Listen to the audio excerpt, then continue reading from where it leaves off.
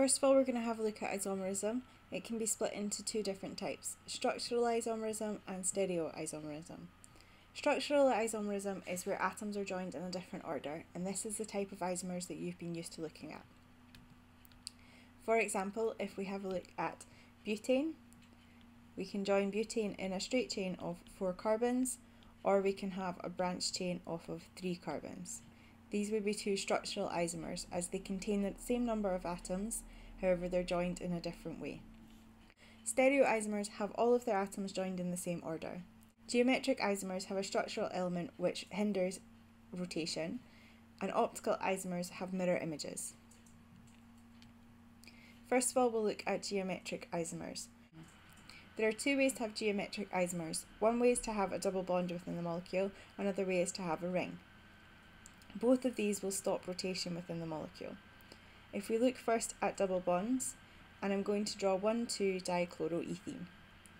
To draw 1,2-dichloroethene, you can have both of the chlorines on the same side of the molecule, or they can be on opposite sides of the molecule. When they are on the same side of the molecule, they are this is the cis isomer. When they are on opposite sides of the molecule, this is the trans isomer. So if we're to write the name in full, we'll, we'll have cis 1,2 dichloroethene and trans 1,2 dichloroethene. Another way to stop rotation is to put in a ring in the molecule. So if we look at cyclopropane, which is a ring of three carbons, we can have no rotation around any of the carbons. So we can have a similar thing with chlorines added on. Chlorines can either be on the same side of the ring or they could be on opposite sides of the ring. Our second type of stereoisomers are optical isomers. This happens where we have a chiral carbon. This means we have four different groups attached to the carbon.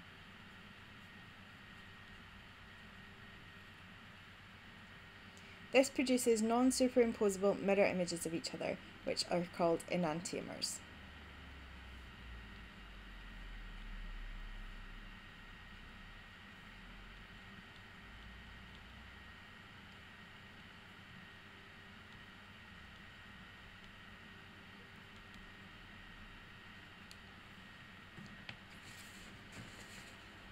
If we are to draw a pair of enantiomers, we're going to use the 3D shape to be able to draw these.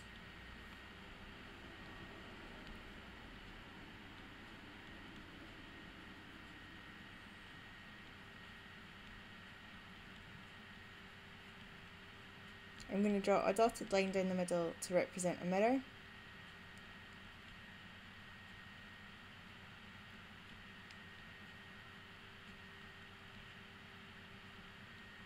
And here we have two enantiomers. If you have a 50-50 mixture of two enantiomers, this is called a racemic mixture.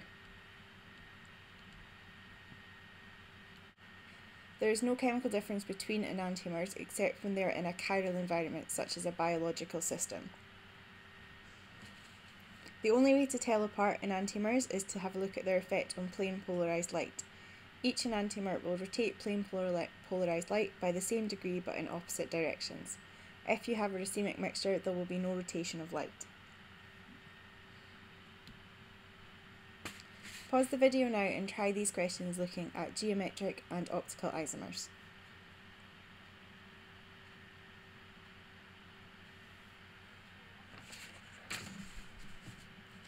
So for part A, we're looking at drawing but2ene. If you were just to draw butene in a chain, you would draw it like this.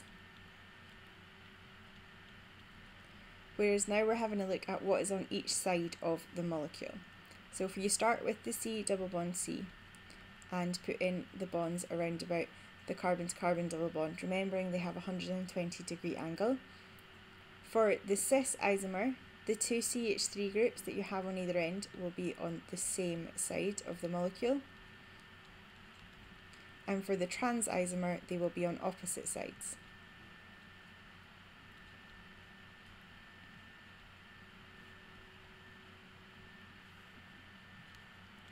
For part B, we're looking at drawing 1,2 dichlorocyclobutane. So cyclobutane would be a square, and we're looking at having two chlorines on it in the 1 and 2 positions. So here we need to show um, the chlorines either coming towards us or going away to show which side of the ring that they're on. So for your cis isomer, both of the chlorines are on the same side of the ring, so I'm going to draw those as coming out of the page. And for the trans isomer, they're on opposite sides. This means one will be coming towards you and one will be going backwards.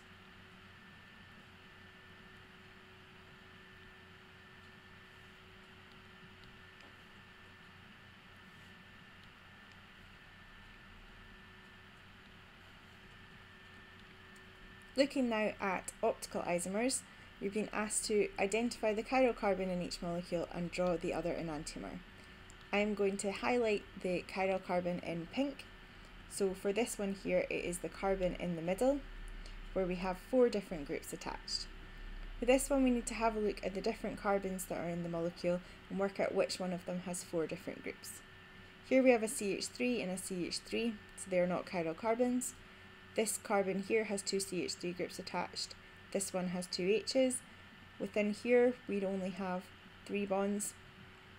So this must be our chiral carbon here, where we have a bond to the benzene ring, we have a bond to a CH3, there must also be a bond to an H, and then to the carboxylic acid group.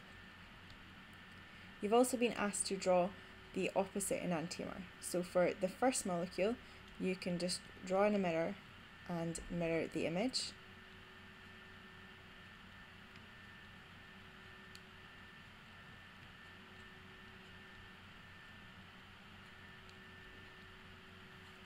For the second molecule, you can either draw in a mirror or you can switch over this group here. So where the CH3 is currently coming towards you, you can draw it going backwards and you've just swapped it with the hydrogen.